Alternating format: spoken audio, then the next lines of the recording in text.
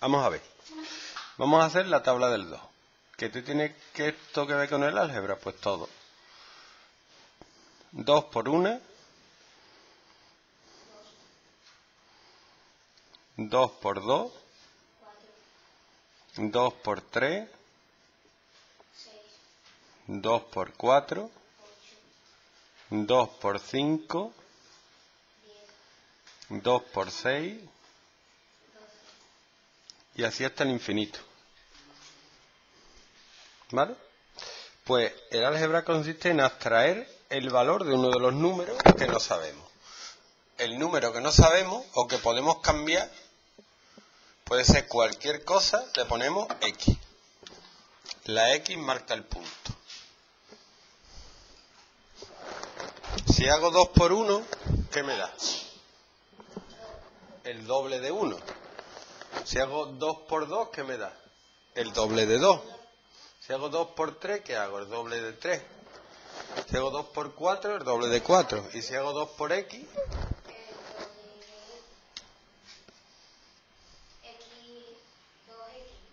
uh -huh. 2x. Otra lista de números. 1 más 1. ¿Cuánto es 1 más 1?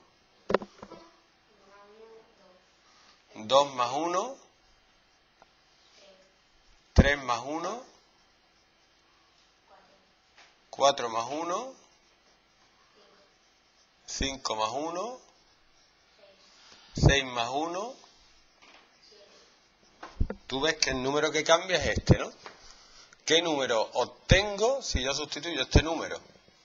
Que no sé cuál vale por x, que es una abstracción de un número que no sé lo que vale, x más 1. ¿El siguiente de 1 cuál es?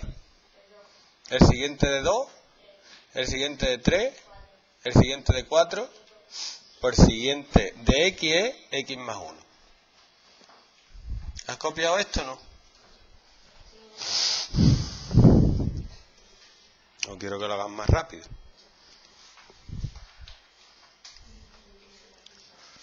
¿Cómo?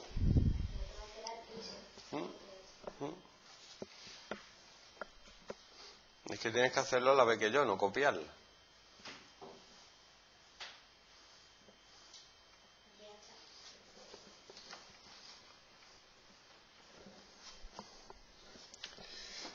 Tres por una, tres por una, tres por dos, tres por tres, tres por cuatro, tres por cinco, Ahora imagina que no tuviéramos este número. Ese número puede ser cualquier número. Podría sustituirlo por una x y 3 por x es 3 es el triple de 1, 6 es el triple de 2, 9 es el triple de 3. 3x es el triple de x. De un número que no sé, pero puedo saber cuánto vale el triple. El triple vale 3x y cuando sepa qué número es x, puedo saber cuál es el triple. ¿Vale? Otro.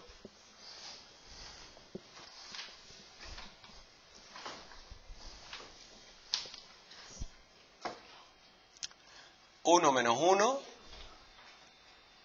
Uno menos uno. Te estoy esperando. Dos menos uno. Tres menos uno. Cuatro menos uno. 5 menos 1. X menos 1, ¿qué sería? 0 es el anterior de 1. No, X por menos 1 no. X menos 1, no X por menos 1. X menos 1. 1 es el anterior de 2. 2 es el anterior de 3. 3 es el anterior de 4. 4 es el anterior de 5. Y X menos 1 es el anterior de X.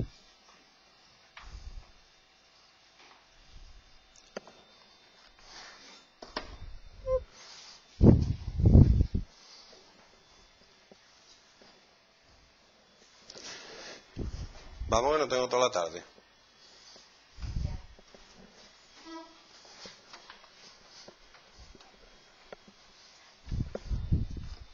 Ahora voy a hacer dos cosas seguidas.